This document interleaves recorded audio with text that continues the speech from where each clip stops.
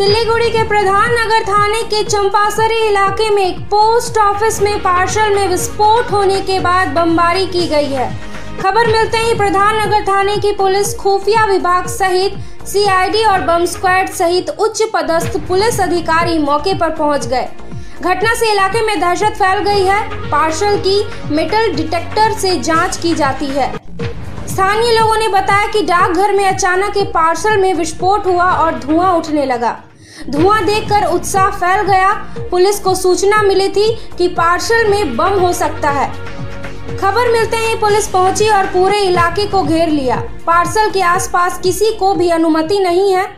इसी बीच, जब एक पार्सल आबादी वाले इलाके में पोस्ट ऑफ़िस में विस्फोट हुआ तो स्थानीय लोग भयभीत थे। डीसीपी पश्चिम कुंवर भूषण सिंह ने कहा कि पार्सल अमृतसर से आया है। पूरी घटना की जाँच की जा रही है। पुलिस ने पार्सल लेने आए व्यक्ति को गिरफ़्तार कर लिया है और पूछताछ शुरू कर दी है।